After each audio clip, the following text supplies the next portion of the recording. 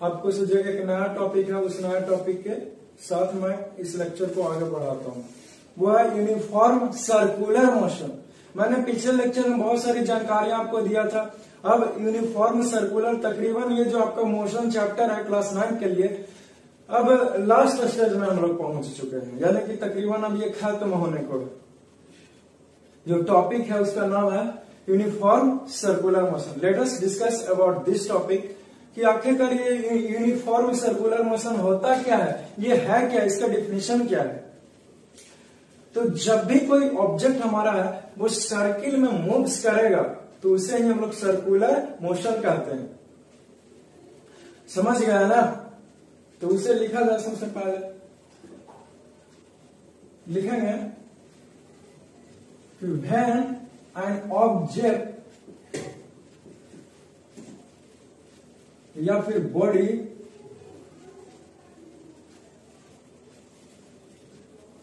moves in a circular path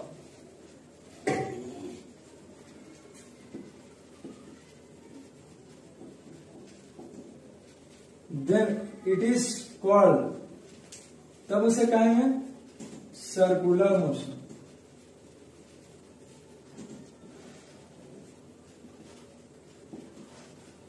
आपसे कोई पूछता है कि सर्कुलर मोशन क्या होता है तो आप उससे यही बातें कहेंगे कि जब भी कोई ऑब्जेक्ट है, वो सर्किल में मूव कर रहा है तो उसे हम लोग सर्कुलर मोशन का नाम देते हैं। लेकिन यहाँ पे कुछ अलग है uniform circular motion uniform circular motion तो यूनिफॉर्म सर्कुलर मोशन का क्या हो जाएगा डिफिनेशन तो उसका डिफिनेशन हो जाएगा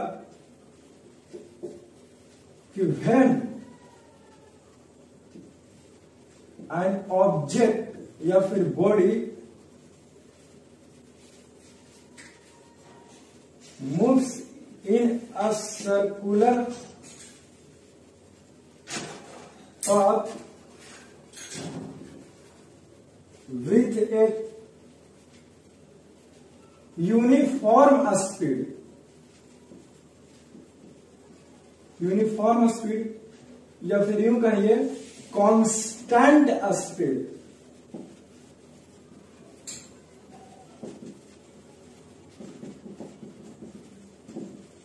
तब इसी को कहते हैं call uniform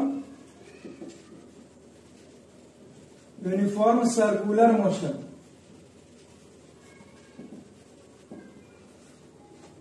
आपको इसीलिए मैंने पहले कॉन्सेप्ट दिया सर्कुलर मोशन को, क्योंकि अगर सर्कुलर सर्कुलर मोशन समझ गए तो आपका ये यूनिफॉर्म सर्कुलर मोशन भी समझना आसान हो जाएगा।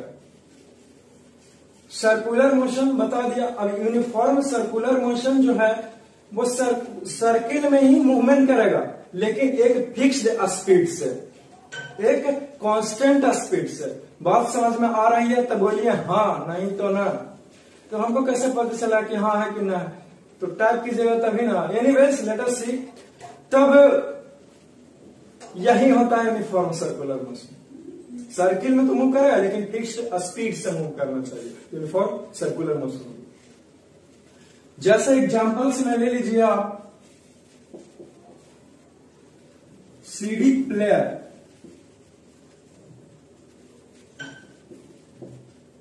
दूसरा एग्जांपल्स ले लीजिए। मैरी गो राउंड ये मैरी गो राउंड क्या हुआ। तो छोटा बच्चा के लिए जब झूला आता है तो एक सर्किल में रहता है। इस प्रकार से स्कूटर का या फिर जो भी वो कार का बना हुआ रहता है उस पर बच्चा लोग ऐसे बैठ जाएगा आराम से। और फिर जो भी होते हैं, वो घुमाते रहते हैं ऐसे। एकदम सर्किल में घूमते रहता है। तो ये एग्ज़ाम्पल है, मेरी गो राउंड यानी कि झूला, जो गोल चक्री में घुमा और सीढ़ी प्लेयर तो जानते ही हो जी पहले के जमाने में अब तो डिस एंटीना का टीवी आ गया है। अभी भी हालाँकि डीवीडी होता है या सीडी प्लेयर। तो उस सीडी को जब हम डीवीडी प्लेयर में लगाते थे तो कैसेट जो है वो सर्किल मूव करता है। समझ गया ना? तो वही एग्ज़ाम्पल हो जाएगा सर्कुलर मोशन का। ये दोनों जो लिखा हूँ, वो सर्कुलर मोशन का एग्ज़ाम्पल हो जाएगा अगर दोनों का स्पीड फिक्स है तो यूनिफॉर्म सर्कुलर मोशन हो जाएगी। ठीक है? तो आपसे कोई पूछता है कि सर्कुलर मोशन क्या होता है तो बता दीजिएगा। यूनिफॉर्म सर्कुलर मोशन क्या होता है तो बता दीजिएगा। एग्ज़ाम्पल भी दे ही। अच्छी बात। अब देखो, अब आपको कुछ अलग बताता हूँ। जैसे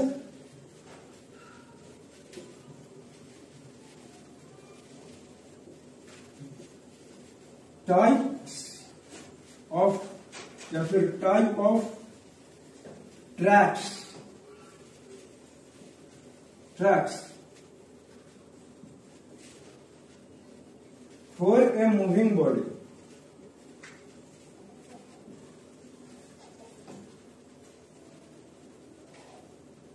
जो भी हमारा बॉडी है, वो मूवमेंट कर रहा, यानी कि वो मोशन में है तो इसके लिए कुछ निम्नलिखित ट्रैक है।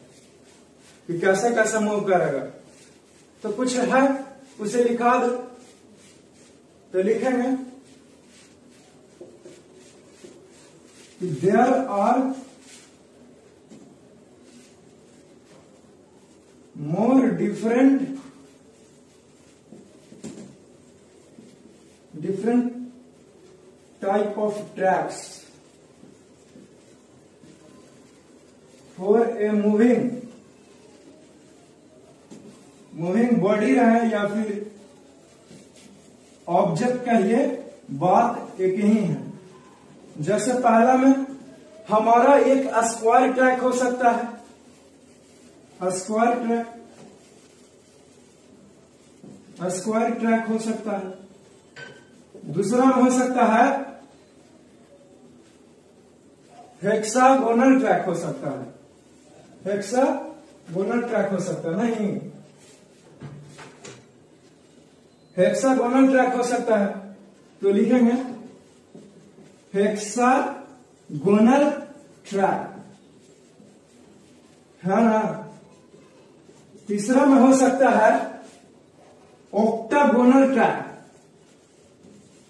octagonal track and finally हमारा सर्कुलर ट्रैक सर्कुलर ट्रैक इतनी सारी ट्रैक हो सकता है, यानी कि रास्ता हो सकता है किसी भी मूविंग बॉडी के लिए, किसी भी मूविंग ऑब्जेक्ट के लिए। बात समझ में आ रही है? तो बोलिए हाँ। नहीं तो ना। क्योंकि मैं दो ही तरह की तो बातें कर देता हूँ। है ना जी? ठुकरा दो या फिर प्यार करो। तो ना कहा लेकर आएगा हाँ कहो, क्योंकि इतना अच्छा से तुझे बता रहा है। एनीवेज लेट अस सी तो first of all I am discussing about this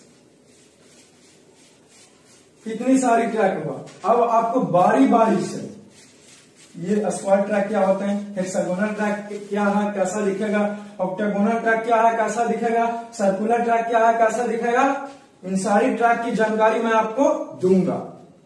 clear होता है ना?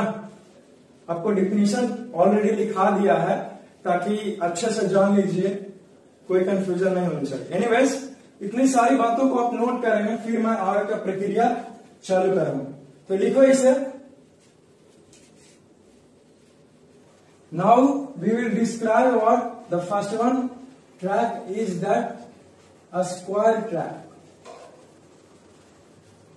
a square track के बारे में जानते हैं।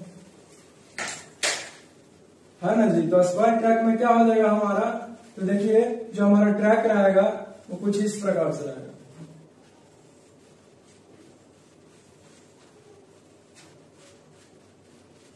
ए बी एंड सी और ये डी हो जाएगा।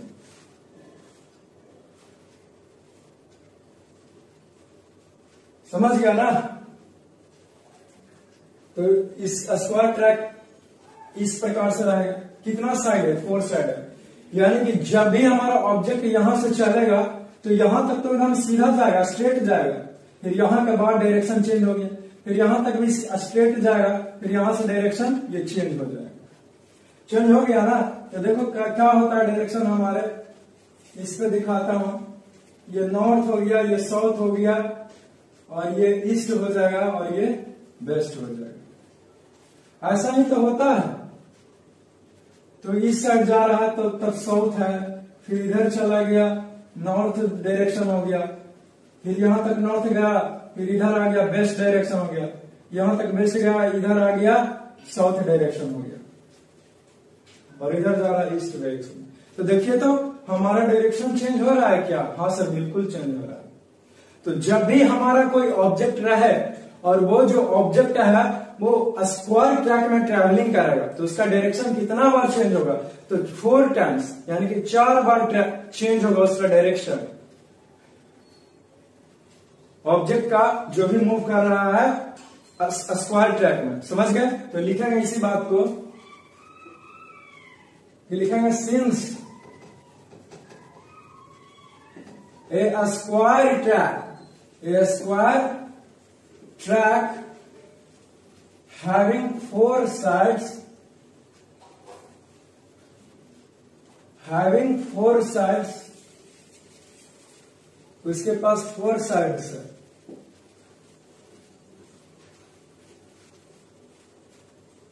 फोर साइड्स है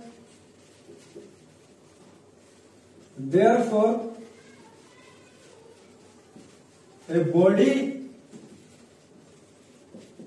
moving in air या फिर on a square track on a square track will change their direction, how many times तो फोर टाइम्स इसीलिए स्क्वायर के पास चार ट्रैक है तो जब भी कोई ऑब्जेक्ट स्क्वायर में जाएगा तो चार बार अपना डायरेक्शन को चेंज करेगा। वही बातें मैंने लिखाया है। समझ गया ना? दूसरा आता है hexagonal track number two and that is hexagonal track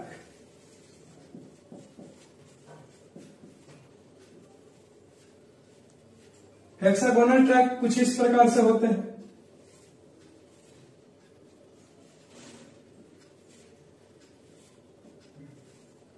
ये होगा।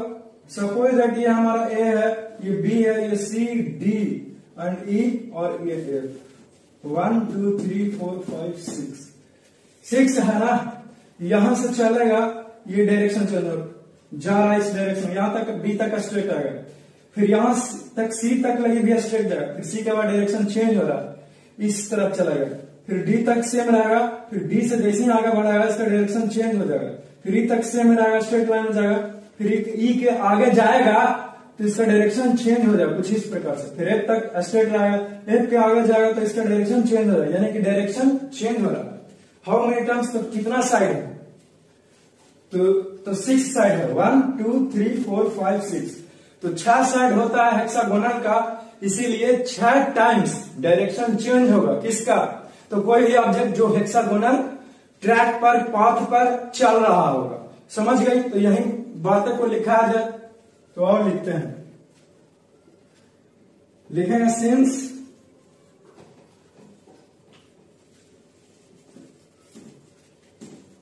hexa hexagonal track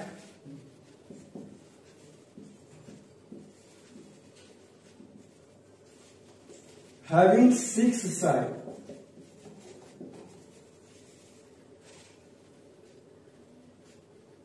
छह साइड है जी लिखेंगे therefore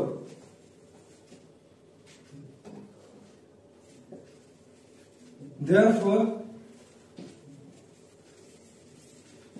a body moving on a hexagonal track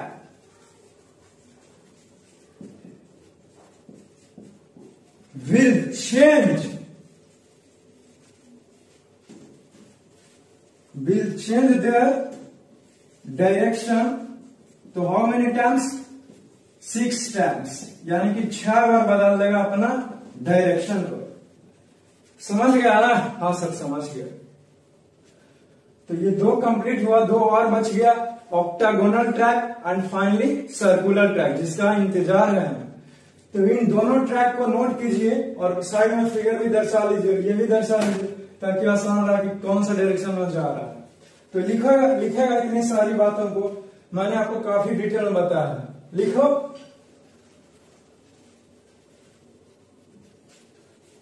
now अब इसी we will discuss about the octagonal track अब ऑक्टागोनल ट्रैक के बारे में जानते हैं। तो सबसे पहले मैं इसका फिगर ड्रा कर दूँ कि कैसा दिखता है। देखिए ऑक्टागोनल ट्रैक ड्रा करने में बहुत परेशानी होती है स्टूडेंट लोगों को, इसलिए ध्यान से देखना कि कैसे कैसे करवाना है देखो, कुछ करना ही नहीं रहता। यहाँ से ऐसे लो, यहाँ से ऐसे लो, फिर यहाँ से ऐसे लो, फिर यहाँ से ऐसे लो। यहाँ से ऐसे लो यहाँ से ऐसे लो ठीक है ना? ये लिया फिर यहाँ से ऐसे लाइए कुछ इस प्रकार से। फिर यहाँ से ऐसे लो तो ये आपका ऑक्टागोनल ट्रैक हो गया। नाम दे देंगे A B C D E F G H octagonal track है। क्यों? क्योंकि इसके पास आठ साइड है यानी कि एट साइड है। नहीं भरोसा गिन लो। यहाँ से काउंटिंग करता हूँ। One two three four five six seven and eight तो देखो a octagonal track has eight sides इसीलिए जो कोई भी हमारा मूविंग बॉडी है, वो अगर ऑक्टागोनल ट्रैक के ऊपर रन करता है दौड़ता है, तब उसे अपना जो डायरेक्शन है, वो आठ बार चेंज करना होगा। एट टाइम्स तो लिखेंगे इसी बात को। लिखेंगे सिंस a octagonal has लिखेंगे octagonal track having having eight sides having eight आठ साइड है इसके पास. Therefore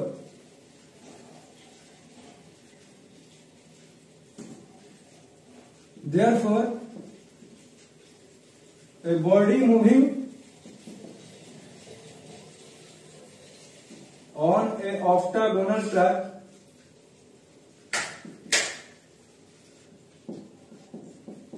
Will change वो क्या करेगा? तो चेंज कर देगा क्या?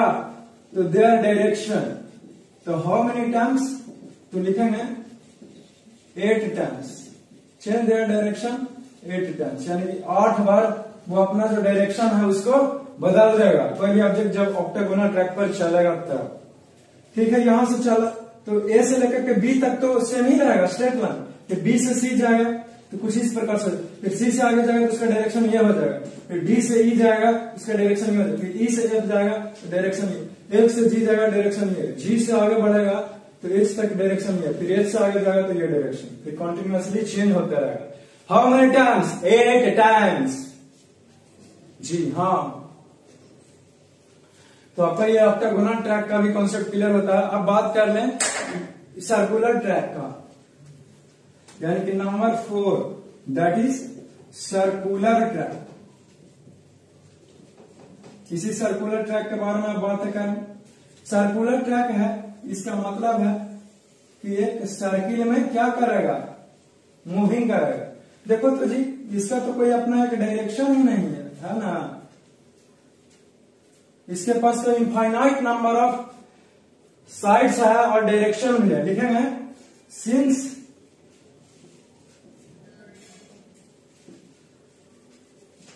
सर्कुलर ट्रैक है, या फिर इसके पास कोई साइड नहीं। हैव इनफाइनाइट साइड्स या फिर infinite sides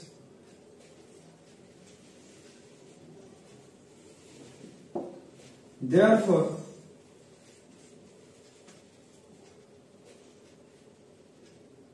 a body, इसीलिए a body moving on a circular track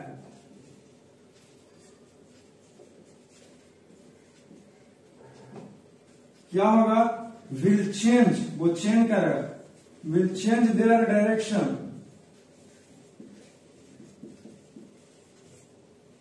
their direction infinite number of time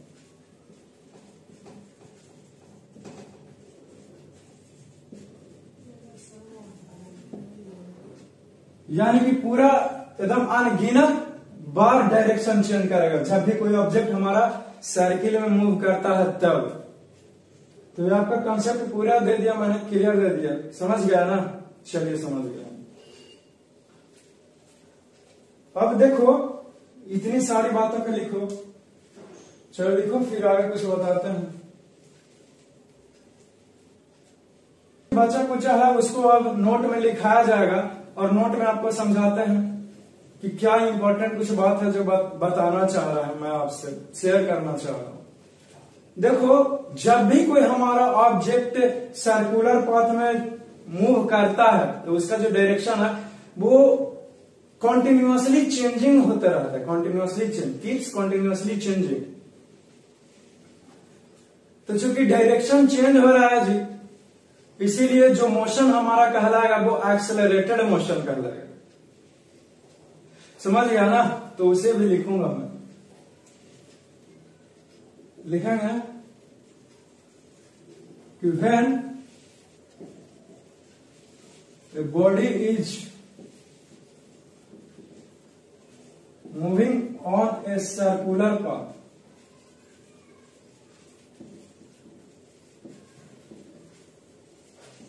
then तब क्या होता है? Then its direction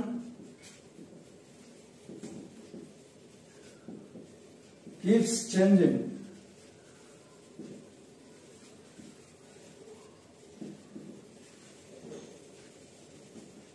continuously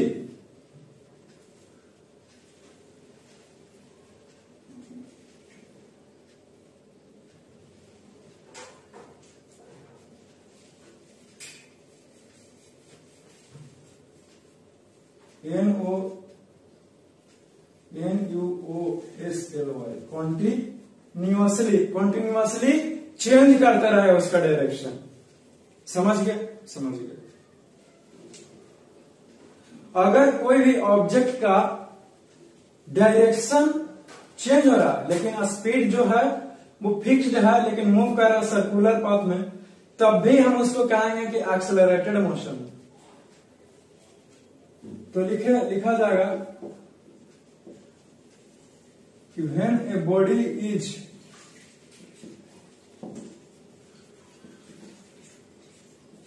is moving on a circular path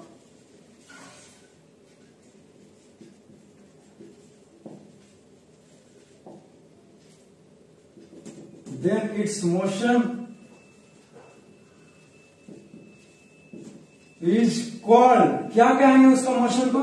Is called accelerated motion accelerated motion accelerated motion का नाम देते हैं। कोई पूछा कि ऐसा क्यों कह रहा? तो कहेंगे because their direction is changing continuously.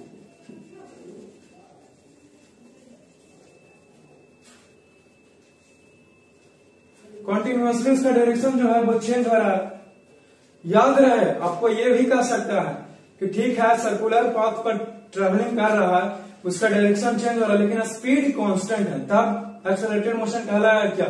हाँ तब भी कहलाएगा एक्सेलरेटेड मोशन समझ गए? इतनी सारी बातें क्लियर होती है क्लियर होती है। अब देखो, आपको आगे बताता हूँ।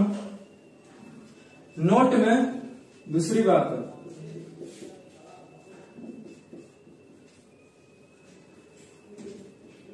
नोट में लिखा है कि सपोज़ दैट कोई एक लड़का है जी, जो क्या कर रहा है कि एक स्टोन को बाँध करके, ये स्टोन है हमारा। स्टोन है। तो इस स्टोन को घुमा रहा है सर्किल इस प्रकार से। तो यहाँ पे जब इधर आएगा तो इसका डायरेक्शन कुछ इस प्रकार से रहेगा यानी कि ईस्ट की ओर। फिर यहाँ आएगा, फिर यहाँ से डायरेक्शन बदल जाएगा, वो है साउथ की ओर। हालाँकि डायरेक्शन ये भी बदलेगा, लेकिन ये तिरछे जाएगा यानी कि यानी कि साउथ ईस्ट के कोना में, या फिर साउथ वेस्ट के कोना में, जब इधर आएगा तो यहाँ पर। एनीवेज तो चेंज होता रहता है। यहाँ पे अगर कोई एक लड़का है जो इसको एक धागा से बाँध करके क्या कर रहा है? ये घुमा रहा है। तो ये सेंटर में घूमेगा कुछ इस प्रकार से। इस स्टोन को बाँध करके एक थ्रेड की मदद से इस प्रकार से घुमाया जा रहा है। एक धागा बाँध लिए हैं और उसको घुमा रहे हैं। ऐसे। तो जो भी मैं घुमा रहा हूँ, वो एक फोर्स की मदद से ना स्टोन घूम रहा है। सपोज़ दैट ये स्टोन बना, ये धागा है तो ऐसे घुमा रहा हूँ तो ये घूमेगा ऐसे। ऐसे ऐसे ऐसे कर करूँगा ये घूमेगा। तो जिस फोर्स से घूमता है, यहाँ पे जो फोर्स लगा करके इस स्टोन को घुमा जा रहा है सर्कुलर पाथ में, उसी फोर्स का नाम है सेंट्रीपिटल फोर्स समझ गया तो लिखेंगे सेंट्रीपिटल फोर्स के बारे में।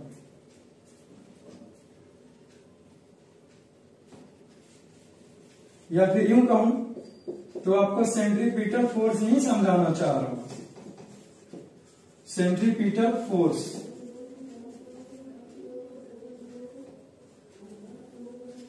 तो लिखेंगे कि वेन एन ऑब्जेक्ट या फिर ऐसे लिखो the force which is required which is required required है, यानी कि ज़रूरी है, यानी या फिर ज़रूरत है। Which is required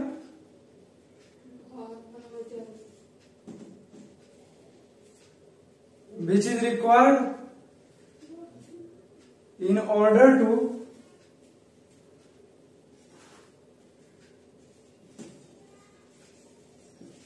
in order to to make an object move in a circular path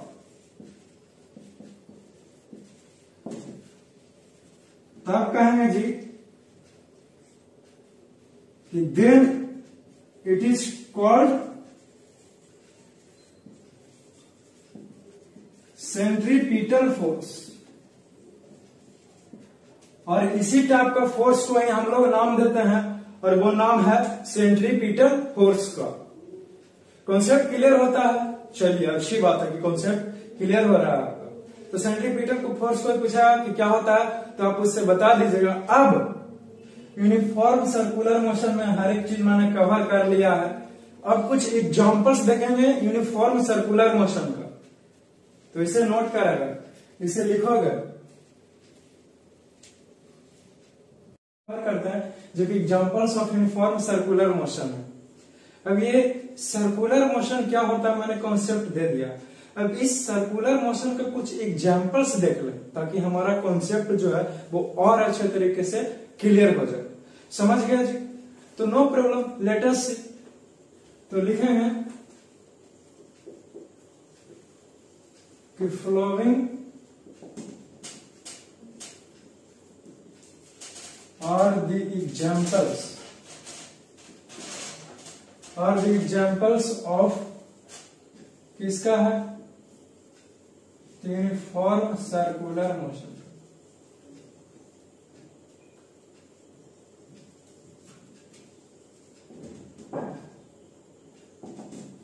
uniform circular motion का कुछ निम्नलिखित एग्जांपल्स जैसे कि जो हमारा सैटेलाइट होता है, वो क्या होता है?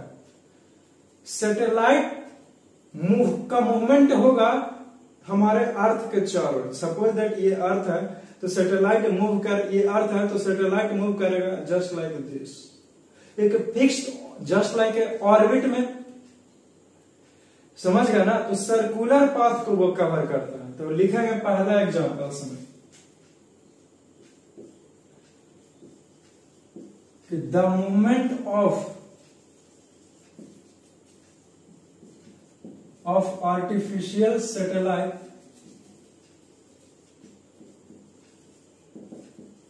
satellite around the earth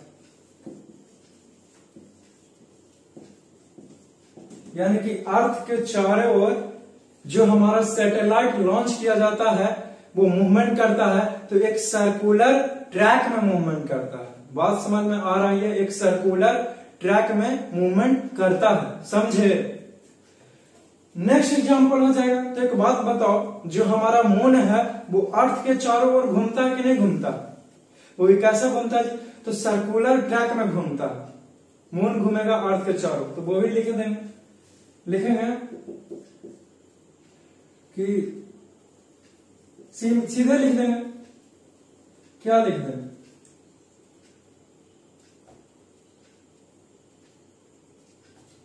the movement of moon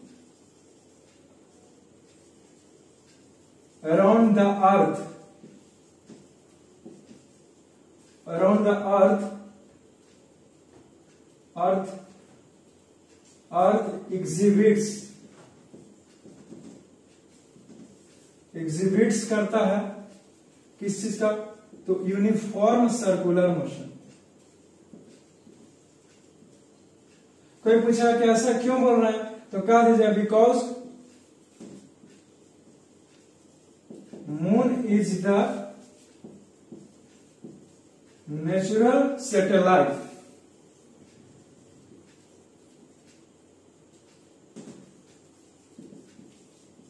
satellite of the earth देख लेना जरा सा सैटेलाइट के S A T double L I T satellite का स्पेलिंग एक और चेक कर लीजिए। मेरे ख्याल से तो यही होना चाहिए। सैटेलाइट एनीवेज जो भी हो। तो जो हमारा सैटेलाइट है, वो कुछ इसी प्रकार से होता है। जो हमारा पहले पॉइंट से क्लियर हो जाए कि चूँकि जो हमारा सैटेलाइट मूव करता है अर्थ के अराउंड वो सर्कुलर मोशन वो यूनिफॉर्म सर्कुलर मोशन को दर्शाता है। तो जो मून है, वो नेचुरल सेटेलाइट है। अर्थ का इसका मतलब है कि मून भी सर्कुलर मोशन करेगा। अर्थ के अराउंड। जी हाँ।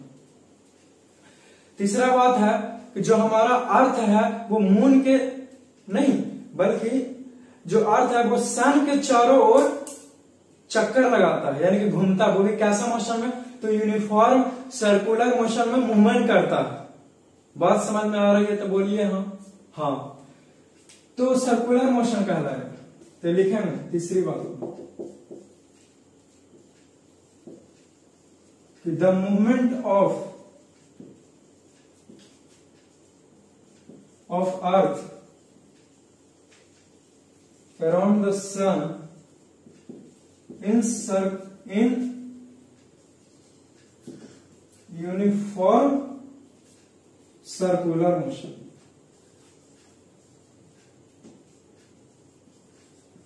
वो भी यूनिफॉर्म सर्कुलर मोशन नेक्स्ट क्या हो जाएगा? नेक्स्ट हो जाएगा कि जो भी हमारा एथलीट है, या फिर साइकिलिस्ट जो साइकिल चलाने के लिए बहुत शौकीन है, वो रेसिंग रहता है तो एक ग्राउंड में इस प्रकार से सर्कुलर ट्रैक पर मूवमेंट करता है। तो वो भी यूनिफॉर्म सर्कुलर मोशन कहलाएगा तो उसे भी लिख दो। तो लिखेंगे कि एन एथलीट या फिर साइकिलिस्ट इसे क्यों छोड़ो? इसे भी घसीट ले। एथलीट या फिर cyclist moving on a circular circular path कहिए या फिर सर्कुलर ट्रैक विथ ए तो कैसे जी? तो with a constant speed exhibits uniform circular motion बात समझ में आ रही है? तो बोलिए वही सर्कुलर मोशन ही डिनोट करता है या फिर यूँ कहूँ कि दर्शाता है। समझ गए? अगला बात है लिखाने वाली बात यह है कि जैसे मान लीजिए हमारे पास क्या है? ये एथलीट तो हो ही गया, या फिर यूँ कहूँ कि suppose that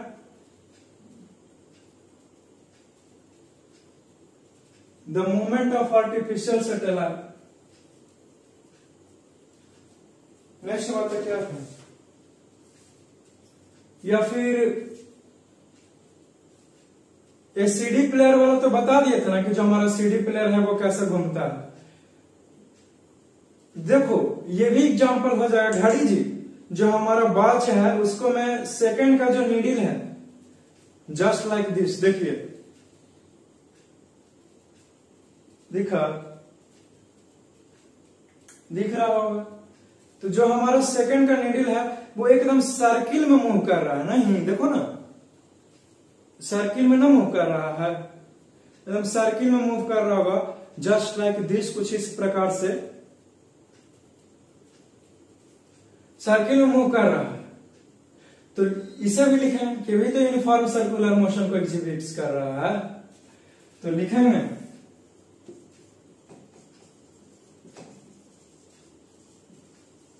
the movement of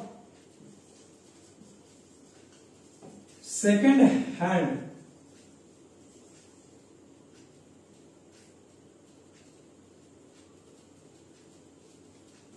second hands of watch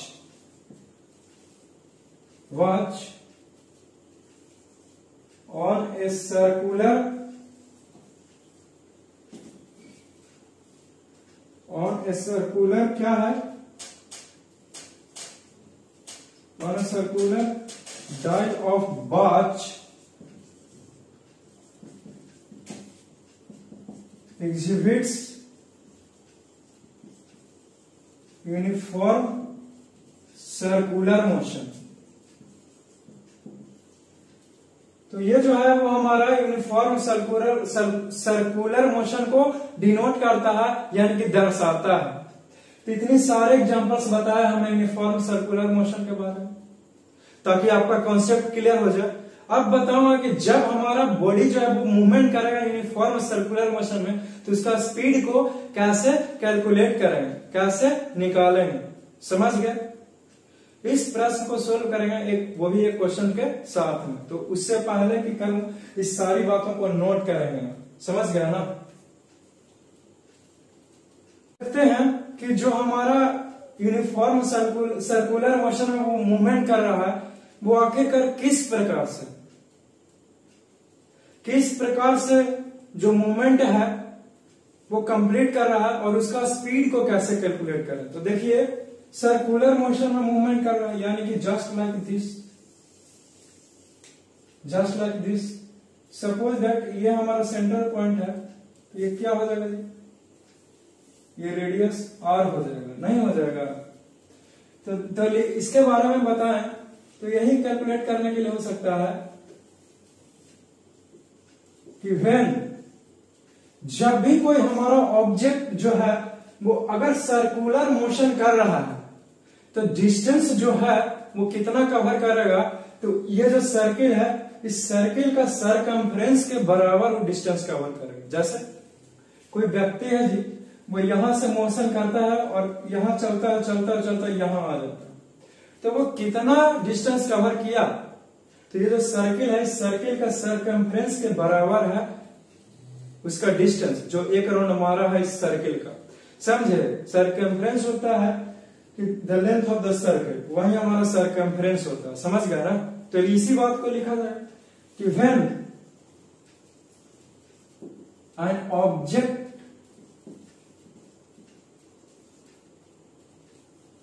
travel लिखे या फिर moving moving on a circular path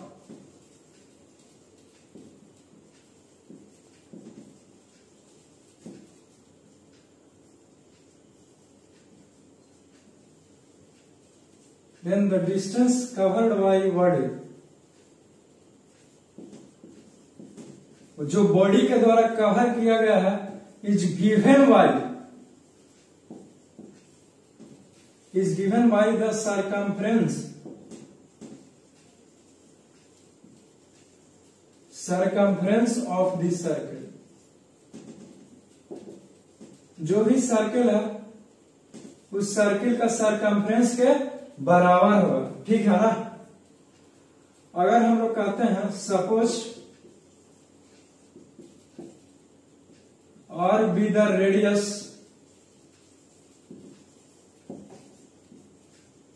of this circle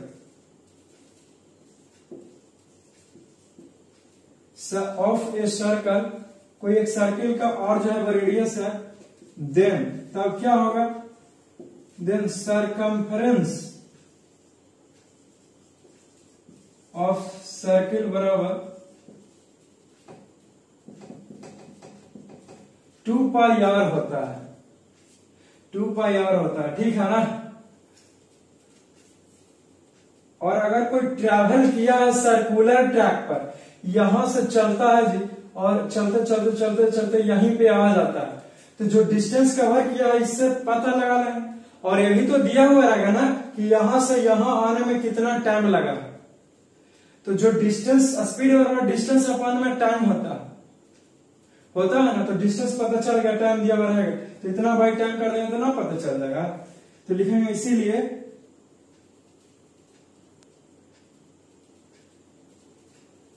इसीलिए वेलोसिटी बराबर। या फिर यूँ कहूँ कि स्पीड बराबर।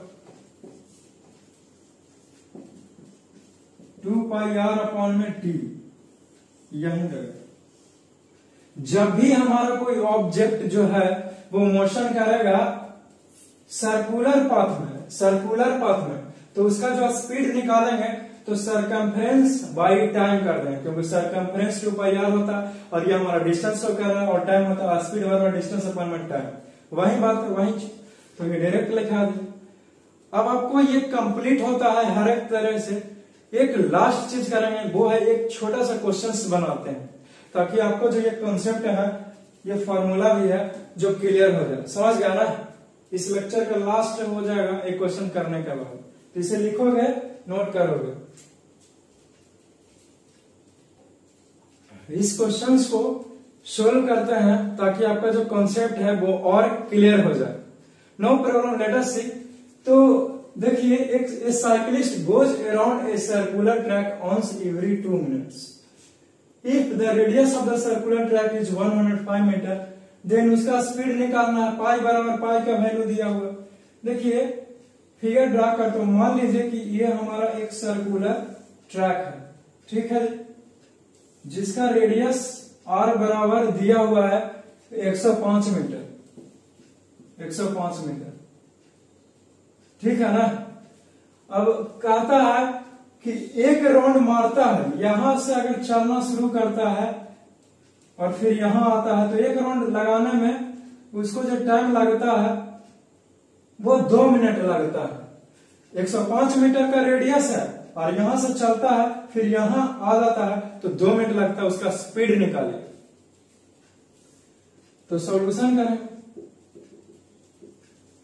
सबसे पहले लिखिए गिवन। गिवन में आपका क्या है? तो डिस्टेंस दिया हुआ है। डिस्टेंस कैसे निकालते हैं? तो सरकमफ्रेंस निकाले। टू पाई आर तो देखो तो पाई का वैल्यू दिया हुआ है बाईस बटा सात।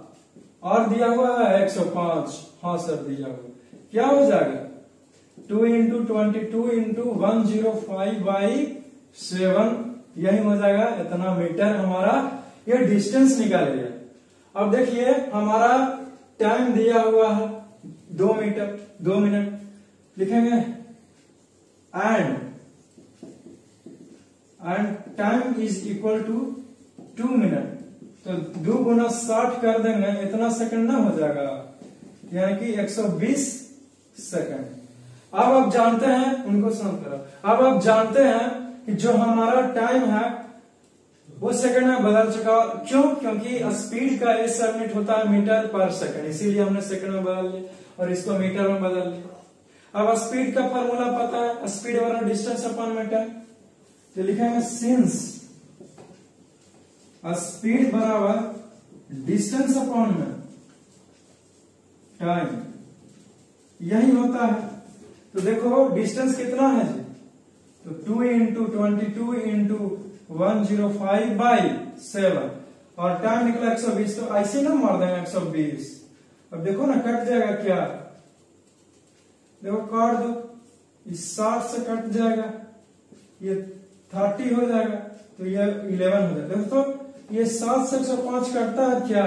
एक बार में सेवन तो ये थ्री तो सात सेवन फाइव जा थर्टी फाइव यानी कि पंद्रह से एक सौ पाँच होता है। यानी कि फिफ्टीन टर्म्स ये कैंसिल हो गया, ये सेवन से। तो अब गुणा कर दो। अब ये टू टर्म्स कैंसिल हो जाएगा ना। ये तो क्या हो गया? Eleven by two metre per second यानी कि फाइव हो जाएँगे। Five point five metre per second आपका क्या हो गया? ये आंसर हो गया। है ना जी? तो 5.5 मीटर पर सेकेंड ये आपका क्या हो जाएगा?